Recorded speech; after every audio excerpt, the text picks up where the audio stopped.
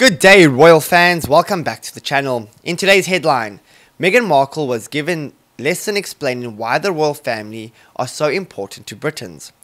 Tom Bradby, who presented ITV's News at 10, revealed how he tried to explain the British respect for the monarchy to the Duchess of Sussex the first time he met her. He said, Sometimes you try and explain to people, not from this country, our relationship with the monarchy. I remember trying to explain it to Meghan a long time ago.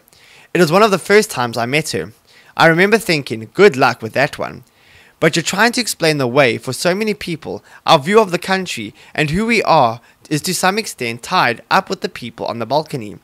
Because every time there's a big national occasion, wherever it is, they're up on the balcony.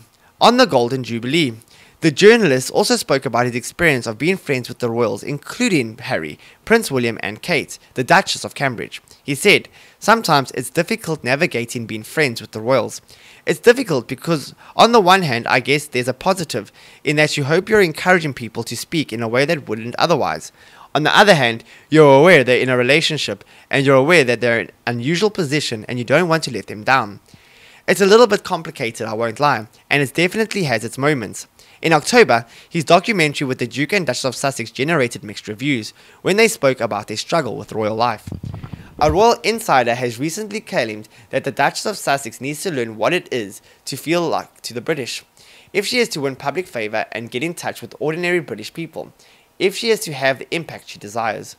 The former actress moved to Britain ahead of her marriage to Prince Harry, and while the royal couple are now settled in Windsor, she still has strong ties to the US.